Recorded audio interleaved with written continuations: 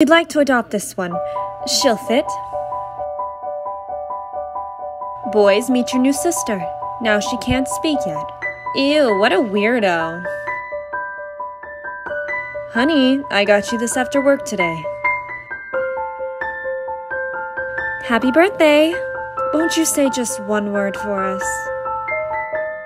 She doesn't feel good. I think we should take her to the doctor. I, I, I think she'll be fine.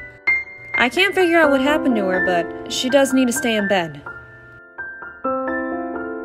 Honey, I made you breakfast, but I have to go to work, so eat fast. You're burning up, honey. Go grab a towel from my room.